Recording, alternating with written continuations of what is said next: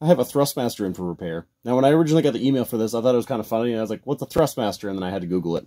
It's a flight stick. That's pretty cool. So, stick around. Because it's a flight stick.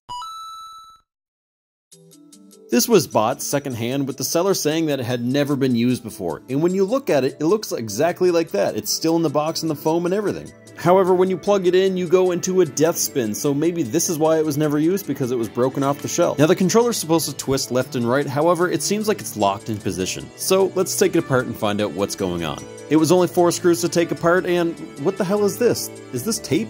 Someone was definitely in here before. This isn't brand new at all. And I'm no expert, but I'm pretty sure these wires are supposed to be attached. On top of it all, this spring was out of place, which was causing our twist issue. I reset the spring and then put it back together just to see what would happen when we plug it in. And we're no longer doing a death spin. Now I found if I put my finger on two wires, I'd start turning left or right. Now this did two things. One, it told me that these wires were responsible for that death spin earlier, and two, it eventually gave me a shock. So, you know, that was stupid on my part. Anyhow, so I'm guessing that if I resolder these wires to this potentiometer, when I twist it, I'll be able to control the left and right tilt.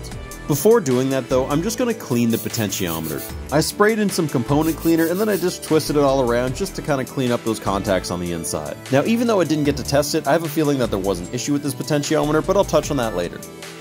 With it cleaned, I put it back into the joystick and I'm going to solder those wires back on. The only issue is, I have no idea which way these wires go, and every video I found, they all had different color wires, so I'm just going to kind of wing it. Now that pun was totally unintended, but I love it anyways.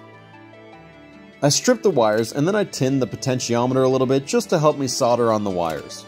Doing this made it way easier because I was able just to bring the wire to the one contact and solder it over with the solder that was already on the pin. Now because there's no way I got this on my first attempt, I'm going to be desoldering these wires later, so I'm not too concerned about making a full connection just yet, I just want to make sure that the wire is connected to the contact just for long enough to test.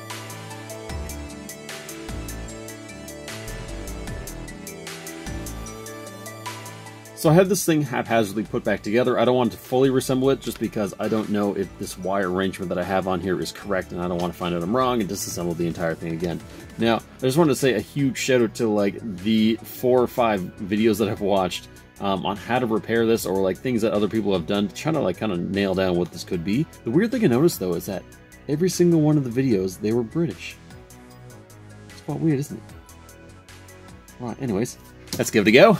But seriously, these videos taught me so much. I came across this video where someone's wrapping tape around the stick like I had found it because they were trying to prevent issues with the potentiometer. This is what leads me to believe that there was an issue with the potentiometer with the first owner. I also came across a video where someone had problems twisting the controller left and right, and they explained that this spring was sometimes improperly set or not set at all. And I owe a lot to this video because they were having an issue with tilting left and right, so they took out the potentiometer and cleaned it. Now maybe the first owner didn't see this one, or he did, and that's how the wires got ripped out. Anyhow, thank you all, let's test. Alright, so if I twist left, nah, nothing happens, and if I twist right, I bank left. Okay, well, I've got to redo it.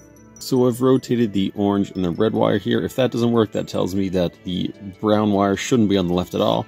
Just a process of elimination. I think there's nine total combinations that it could be, so we're down one at least already. So if I turn right, I bank left. If I turn left, I bank right. So I'm super close. I think I just have to change the outside wires and it should be good. So just like I had planned earlier, I only used a little bit of solder so I can easily desolder and resolder these back on in just a few seconds.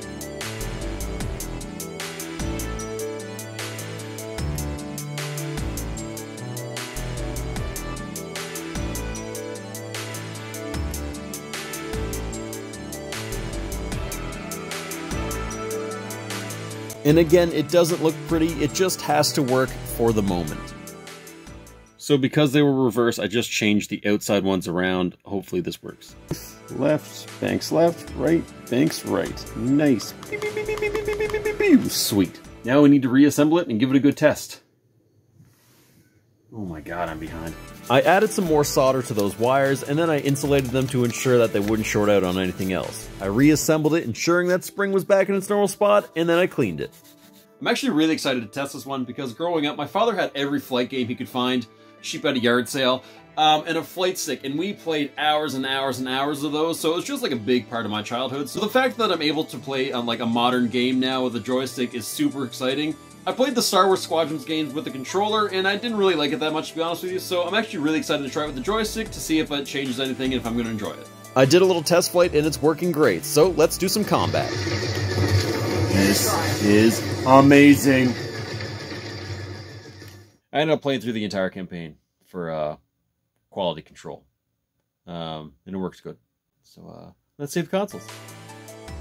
As usual, I'm learning this as I go, so please, I encourage you to learn with me, but don't imitate me without first doing your own research. I hope you enjoyed. If you want to see more like this, hit subscribe there, like this video if you liked it, and as always, let's save the consoles.